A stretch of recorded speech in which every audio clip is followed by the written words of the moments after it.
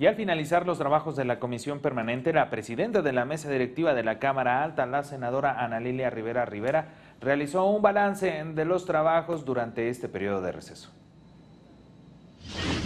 Concluye un periodo de una permanente que sí fue productiva, porque el tiempo fue muy breve y hemos aprobado el nombramiento de 20 magistrados en áreas administrativas que estaban pendientes. Entonces, ha sido un periodo polémico, pues porque ya estamos en un momento muy importante de definiciones políticas.